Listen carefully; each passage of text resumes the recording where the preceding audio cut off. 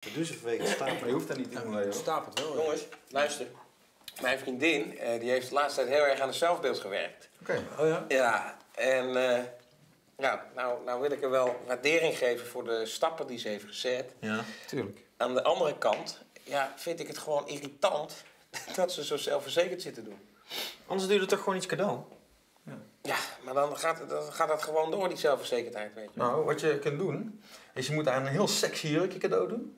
En dan draagt ze dat een paar keer, dan voelt ze die waardering. En dan, na een paar weken, dan laat je het op de taille een stukje innemen. Moet je eens kijken, ik kan ze helemaal opnieuw beginnen.